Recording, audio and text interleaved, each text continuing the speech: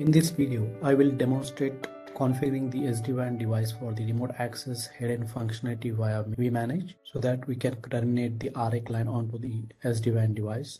And once the RA client connects to the RA headend, we will verify if RA client can access the enterprise application server in the enterprise data center via SD-WAN fabric. Lastly, we'll see how the Umbrella SIG security policies can be applied to the RA client traffic to make sure that the RA client securely access the internet. This is our SD-WAN lab setup. We have the SD-WAN controllers, We manage vBond, and vSmart into the public cloud. In the data center, we have the Catalyst 8500 device as SD-WAN device, which will be integrated for the remote access head-end capability. We have Cisco ISE server for the RA users authentication and authorization. We are using CA server for the certificate management between the SD-WAN RA head-end and the remote access client users. And for the RA clients, we have the Windows machines with the Cisco AnyConnect client installed on it. So let's get started. This is our vManage controller. So first thing we'll check different feature template that we have configured for the SD-WAN device. Let's go to the navigations, configurations, the templates. Go to the feature templates. Now under the feature template, we have several feature templates configured for this C8500 device. The first is the VPN 0 template, which is the transport VPN. Second is the transport VPN interface template. Third is the service VPN template and fourth is the service VPN interface templates. So basically these four templates are used for configuring the device for a SD-WAN functionality. Then we have the SIG and the SIG credential templates, which are basically to create an IPsec tunnel between the Catalyst 8500 device and the Umbrella portal. And for the crucial template for this solution is the add-on CLI template, uh, which configure the RA functions to the SD-WAN device. So let's look at the detailed configuration under this add-on CLI template. I'll go to the view or edit options for this add-on CLI template. So in this add-on CLI template, basically we have to configure the DHCP IP pool for the remote access clients. So the IP address will be used from this DHCP IP pool in order to assign an IP address to the RA client. You define the radius server group. So in this case, we are using this Cisco server in this AAA server group, AAA configurations for the authentication and authorization, which will use the, the AAA server group, which we have defined here in the previous section. We have trust point configured for the CA certificate management. So this is our CA server IP address under this trust point. Then we have configured the IKEv2 based proposals policy and the IKEv2 profile. And we also have the IPsec profile. So the IPsec profile is using the IKEv2 based profile which is configured in the previous section. So both the IKEv2 as well as the IPsec profile is needed for the remote access IPsec uh, tunnel terminations or the negotiations. And lastly, we have the virtual templates, which are basically the logical interfaces uh, used by the remote access clients to terminate the IPsec tunnel onto the SD-WAN device. Now by using all these feature templates, I will configure this Catalyst 8500 device as an SD-WAN device using the device template here. So in the interest of time, I already have created this device template. Go to the extreme right and click on edit. So under the transport VPN, uh, we are uh, we have selected the transport VPN and the transport VPN interface template. Under the service VPN, we are using the service VPN template. So now I'm going to Attach this device template to the Catalyst 8500 device. Select the Catalyst uh, 8500 12x device under the available device and then attach this device template to the 8500 device. Click on next. If you click on the left side 8500 12x, you'll see all the configurations that has been generated out of these feature templates and then just click on the configure device. Now the vManage is configuring the device and this status message should turn to be uh, successful. Now you can see the device is now already configured for the uh, SD-WAN functionality. So now I'm going to push the remote access head-end configuration onto this SD-WAN device by using the add-on CLI templates. So let's go to the configurations and templates. I'll look out for my 8500 device template and I'm going to edit this template in order to attach the add-on CLI template for the RA functionality. And the add-on CLI template option is uh, available under the additional templates. So under the additional templates, if you see the CLI add-on template options here, go to the drop down and select the add-on CLI template and I'm going to update this device template. The next thing is this will create the configurations for the RA functionality and then I'm going to push this configuration to the SD-WAN device. The configuration is pushed successfully. Now the SD-WAN device is ready for the remote access head-end functionality. Now I will configure this SD-WAN device for the internet as well using the umbrella portal, right? So I'm going to push the umbrella configuration onto this device. Let's go back to the navigations configurations template, edit my Catalyst 8512X device template, edit options, part of the transport VPN option of Cisco Secure Internet Gateway, which is basically for the SIG tunnel. Add the SIG tunnel options under the VPN 0. Now this is available on the left hand side panel. Go to the drop down, select the umbrella SIG tunnel, SIG template, select the umbrella SIG template. Now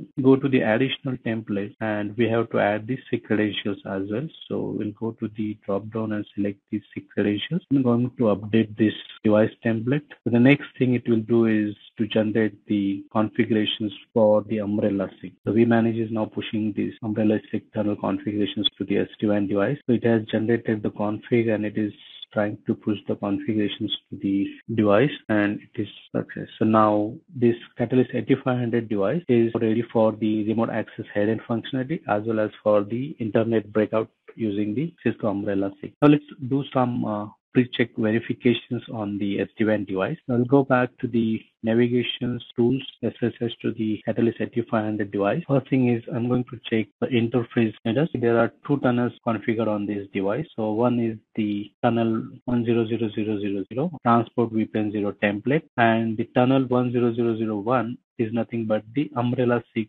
tunnel, IPsec tunnel, and which is in up down state. The umbrella SIG tunnel takes around six to eight minutes to come up. In the meantime, uh, we'll verify the crypto session details. Now I can see tunnel 1001, which is umbrella SIG IPsec tunnel in down state. So we do not see any virtual access uh, tunnel which is nothing but the IPsec tunnel. Currently, there are no RA clients connected to this connected to this device. We do not have any virtual access interface. Now we'll wait for umbrella SIG tunnels to come up. Let's wait for two three minutes, and this tunnel will come up. Let's verify the tunnel status again. I can see the umbrella SIG tunnel is also up. All right. So another check that we can do is on the uh, umbrella portal.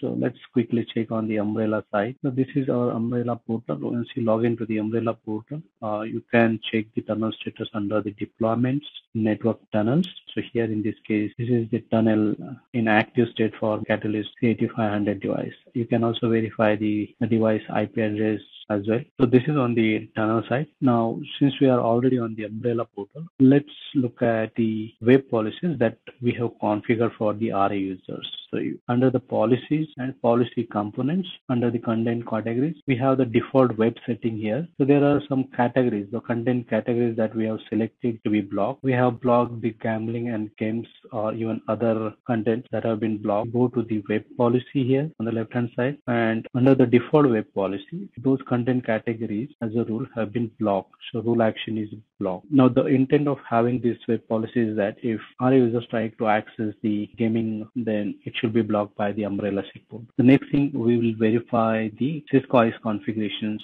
Now let's review Cisco ISE configurations. So there are four things that you need to configure on the Cisco ISE server. The first is the adding the Cisco SD-WAN device on the ISE server. So let's navigate to the administration, network resources, and under it, the network devices. We have added this Catalyst 8512X device. Let's quickly look at what configuration goes into this. While adding the device, you just have to provide the device name, the IP address of the interface. So the interface on the Catalyst 8500 device, which is connecting to the ISE server. So you have to add that IP here. Then the device profile or the make of the device.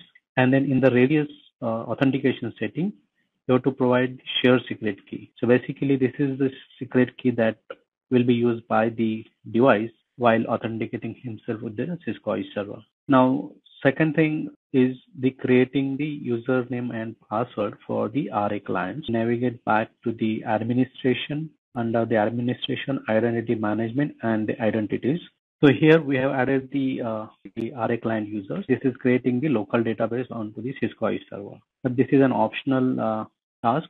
If you have, let's say, area integrated with the Cisco ISE server, then you don't need to add the uh, identities for the RA users here. But in our case, uh, in our lab, we have added the local database for the RA client's username and password. The third thing is we have to create the authorization profile for the RA client.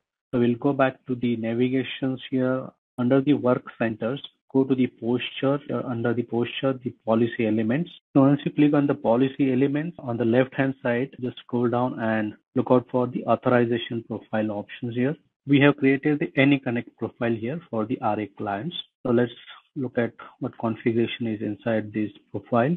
So we are given the profile name here access type accept the network profile for Cisco and the important part here is the different uh, attributes for the RA clients. In this attribute, we have added is the, the IP address masks for the RA client IP addresses. The second parameter is the service VPN, which service VPN these uh, RA clients land into once they get terminated onto the SD-WAN RA head-end device. Next parameter is the unnumbered virtual template interface or the logical interface, which RA client will be used to initiate that IPsec tunnel. So basically, RA client will use the virtual template 100 interface onto the Catalyst 8500 device to create an IPsec tunnel request. And this is the DHCP IP pool from which the IP address will be assigned to the RA clients. The next thing is the full tunnel or the split tunnel option here. So in this case, accept any routes. It means that it is going to push the default route to the RA clients, uh, which is uh, nothing but the full tunnel option here. And lastly, the DNS options that you can define the DNS server and uh, IP address here. Now, once you configure this authorization profile and user identities, now bind those user identity or the RA client identity with the authorization profile. For that, we'll go to the policy sets here. Under the policy sets, uh, I'm using the default uh, policy sets. Under the default, we have the authorization policy. In the last, scroll to the bottom, basic authentication access. So here, if you see a condition, if the network access authentication is passed by the RA user, then use the AnyConnect profile or which profile to be used. Right. So here we are binding this RA user identity based on the authentication and then uh, using the any AnyConnect profile or the authorization profile to push the different parameters to the RA clients. So these are the four things that we need to uh, add on to this Cisco ISE server from a RA client perspective. So whatever the umbrella SIG policy has been applied, those are applicable to both employee at work as well as the remote users. So before we go to the uh, remote access machine, let's look at the uh, the user at the office if he is trying to access the content if that has been blocked by the umbrella SIG or not. So this is my uh, the user machine at the office here. Open the browser and I'll try to access the the gambling site here and it should be blocked by the umbrella SIG. So as you can see here, this you'll see this this site is blocked due to the content filtering by the umbrella SIG. So the intent here is to show that whatever the the policies that you can apply to the the LAN users or the campus users, now those same policies will be applicable to the remote access user as well. Now we'll go to the remote access user machine and from there we'll verify the same gambling site and we'll verify if the even the remote access users has been blocked. So it's time to you know go to the ra client and try to connect to the sd-wan ra head end. This is our sd-wan ra user in this case so we have the cisco anyconnect install here on the user RA client machine. So now we'll try to connect uh, to the Cisco AnyConnect client. Open the Cisco AnyConnect client, select the SD-WAN RA headend profile here, Cisco 8500 RA headend, and try to connect. It will prompt for the username password. And remember, you have to use the credentials that we have added onto the Cisco server. So in this case, uh, we have added admin one and password, and it should be able to connect to the VPN, establishing VPN, and now it's connected to the VPN. So now once it's connected to the VPN, let's let's verify a few parameters on the AnyConnect client software here. So if you go to the Cisco AnyConnect client, click on the settings. The first thing we'll check the uh, status overview. So here you can see that different parameters. You can see the uh, head-end server IP address. So in this case, SD-WAN RA head-end WAN interface IP address. Now, if you go to the VPN part here, under the statistics. So here the state is connected and under the address information, you will see what is the IPv4 address has been assigned to this RA, RA client. If you check the route details next to it, we can see the default route here in, in the sense that it is the full tunnel. Now, since the RA users is connected to the uh, VPN on the SD-WAN RA head end, let's try to access the one of the application servers sitting into the data center or even behind the uh, SD-WAN RA head end. So before that, I'll show have the application server sitting behind the SD-WAN RA head end device. So server IP address is 10.1.18.13. This is my enterprise application server, and, and we also have one of the file that the users can download from this server. Now we'll try to access this application server from the remote access client. So let's go back to the R user client machine. I'll open the browser here and I'll try to access enterprise application server. My enterprise application server IP address is 10.1.18.13. Now this RA user can access this application server. Let's try to download the file from that server here. Yes, and it can also download the file. It means that now the RA users can access the uh, corporate servers uh, which are inside the data center. The other thing that we want to verify is once they are land onto the SD-WAN RA head-end device, from there it is using the umbrella SIG tunnel to go to the internet or to access the SaaS applications. I'll go to the another tab and we'll try to access one of the content categories that we have blocked. So I'll just try to access one of the gaming sites here, AAA.com, and it should be blocked by the umbrella boot. So here you can see that this slide is blocked due to the content filtering by the Cisco umbrella. So it means that once the RA users land onto the RA head-end. from there it is a breakout to the umbrella SIG or the umbrella SIG tunnel in order to access the internet. So in nutshell, now these RA users can access the corporate enterprise applications servers and it also can access the internet securely through the umbrella SIG code.